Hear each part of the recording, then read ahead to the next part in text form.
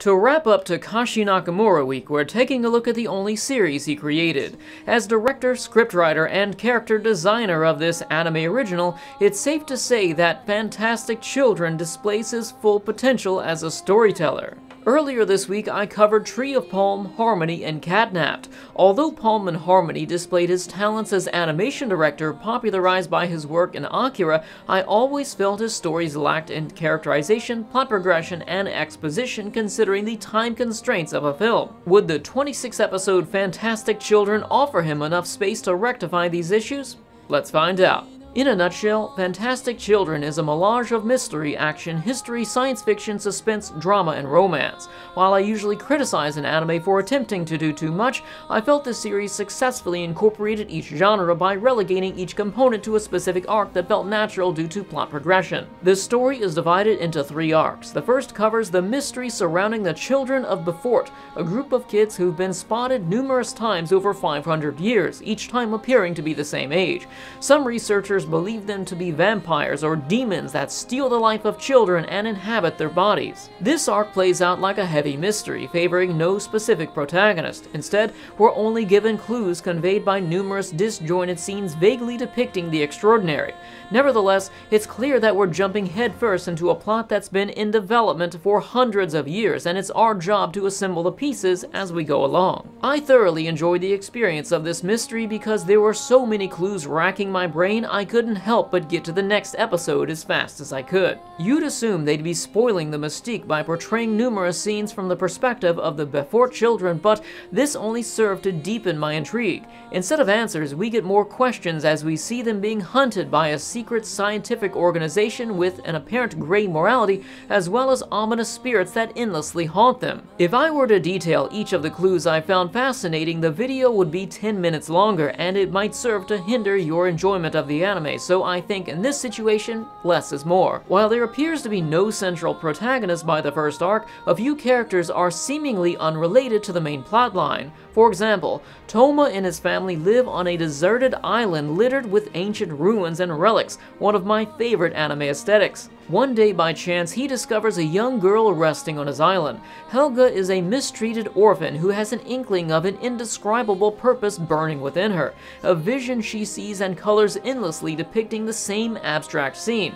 Ironically, she's tied to the overarching mystery due to the death of another woman 100 years ago who devoted her entire life to painting the exact same image. I found a stark contrast between the intense mystery elements of the Befort children, Toma's carefree lifestyle, and Helga's dramatic efforts to escape the captivity of the orphanage.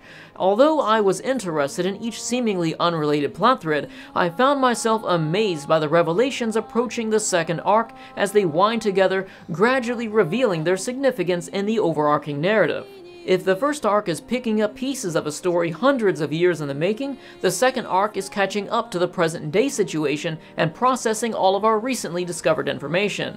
Although this arc doesn't answer all of our questions, it does enough to solidify our understanding and unify most of the plot threads into a linear direction pointing towards a specific end goal. Finally, the third arc is where this information is acted on and built upon reaching the climax and conclusion while answering the remainder of our questions. I began watching Fantastic Children totally in the dark due to my themed Nakamura week. I've been recommended the anime before, but I've never read the synopsis and was never told any of the specifics. By episode 10, I still had no idea what the anime was even about, which appears to be by design. It's an excellent anime for mystery fans, but it's tough to review considering any plot points after the first arc would be considered a spoiler. However, I felt that Fantastic Children repeatedly exceeded my expectations in every aspect. They initially bombard us with clues, but gradually transition over to a more stable and linear plot, allowing us to finally see the characters as characters instead of unknown puzzle pieces. While its mystery aspect hinders the traditional characterization of most of its cast except Toma and Helga,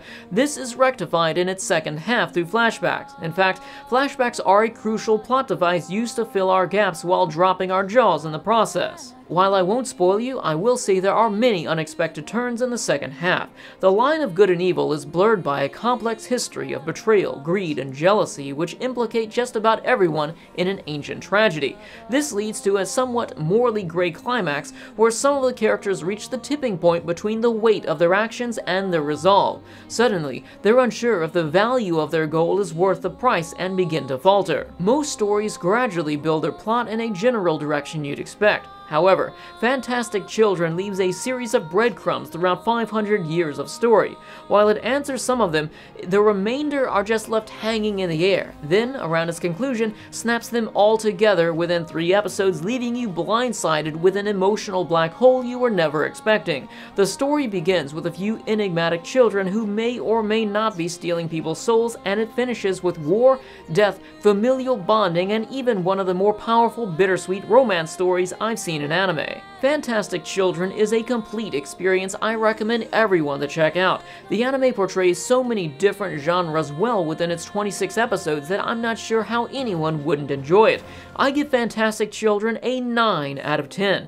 Anime like this are a major reason why I do what I do. Such a powerful emotional experience as well as an intriguing mystery that rarely gets talked about. Only 8,000 people on MyAnimeList have ever completed it. I consider this to be severely underappreciated, but maybe we can change that. If you decide to check it out, come back and tell me what you think. Also, share this review with a friend so that they can experience the wonders of Fantastic Children without being spoiled. And that's not just a ploy to get more views either. Don't Google anything about this anime if you plan to watch it considering how easy it is to ruin the experience. In this review, I made a point to fully express myself while walking on eggshells to protect your overall experience, so I hope you enjoy it.